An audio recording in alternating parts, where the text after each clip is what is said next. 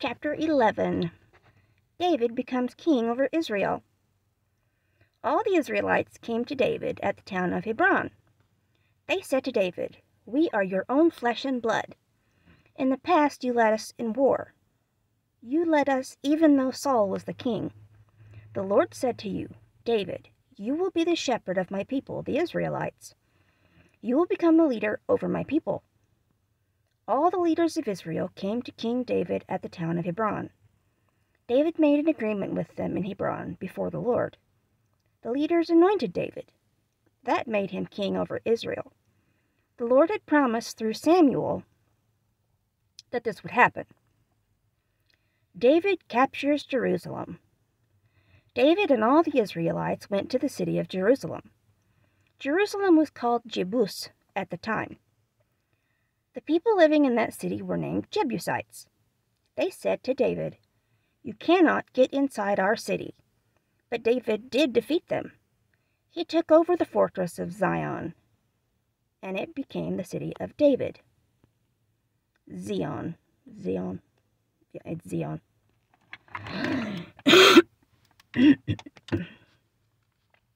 David said, sorry about that. David said, the one who leads the attack on the Jebusites will become commander over all my army. So Joab led the attack. he was Zeruiah's son.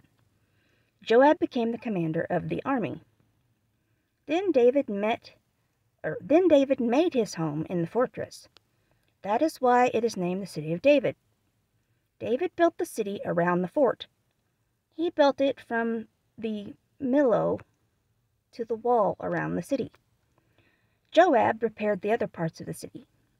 David continued to grow greater, and the Lord All-Powerful was with him.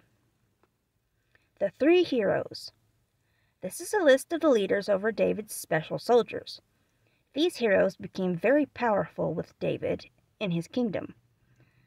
They and all the Israelites supported David and made him king, just as the Lord had promised.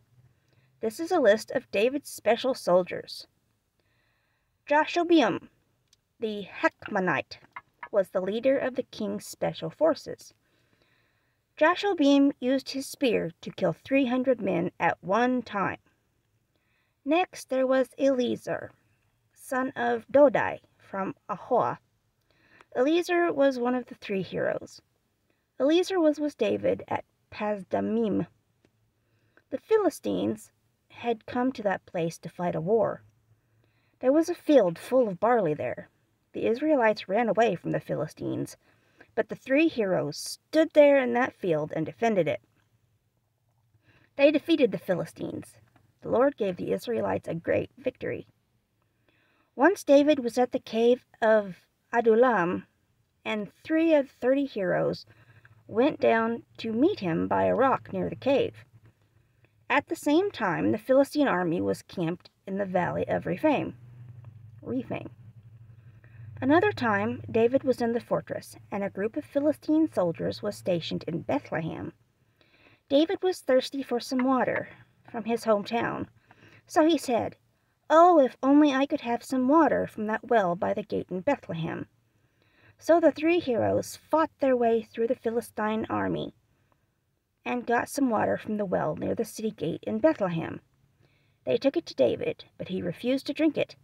He poured it on the ground as an offering to the Lord. David said, God, I cannot drink this water. It would be like drinking the blood of the men who risked their lives to get this water for me. That is why David refused to drink the water. Three heroes did many brave things like that. Other brave soldiers. Joab's brother, Abishai, was the leader of the three heroes.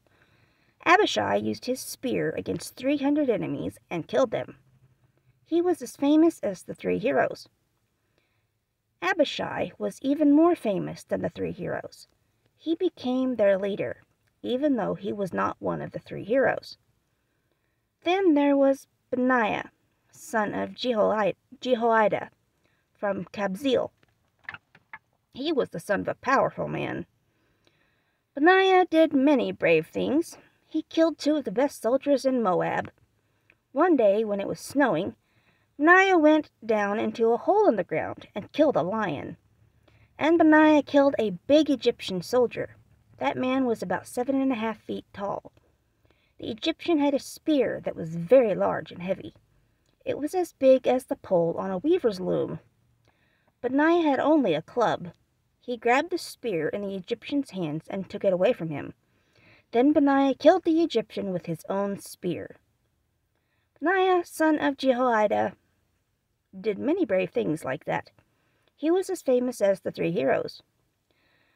Benaiah, Benaiah was even more famous than the thirty heroes, but he was not one of the three heroes. David made Benaiah the leader of his bodyguards. The thirty heroes. The following men were among the king's special forces.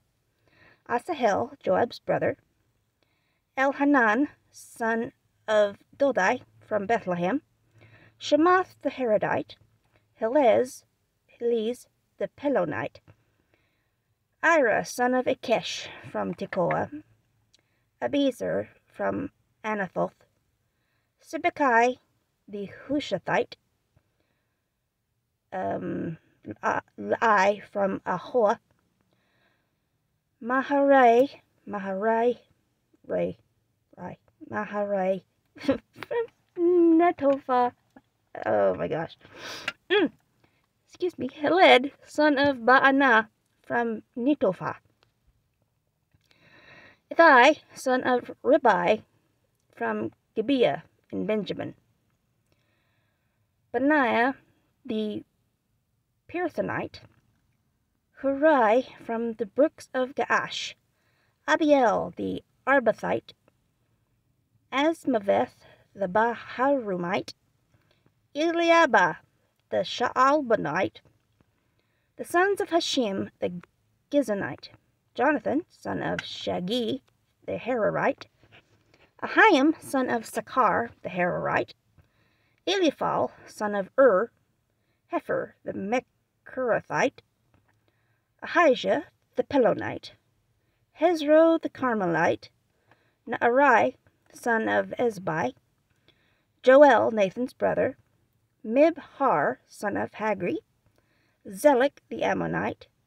Naharai, the officer from Beeroth, who carried the armor for Joab, son of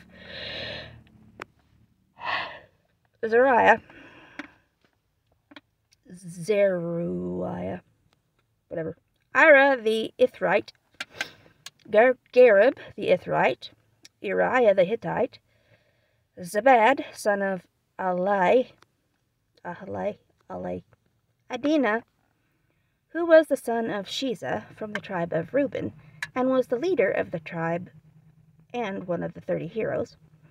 Hanan, son of Maacah, Joshaphat the Mithnite, Uzziah the Ashterathite, Shammah and Jeiel, sons of Hotham from Aroer, Jediel, son of Shimri, and his brother Joha the Tizite, Eliel the Mahavite, Jerubai the Joshaviah, oh, Jer, oh my goodness, Jerubiah, Jerubai and Joshaviah, the son of Elnaam, Ithma the Moabite, Eliel, Obed, and ja, Jaasiel, the Mezobite, bait, Mezobite. I'm sorry, I'm in a goofy mood. I'm sorry for the background noises. I'm kind of in front of a hospital and there's a lot of traffic, but gotta record when you can. Come back next time.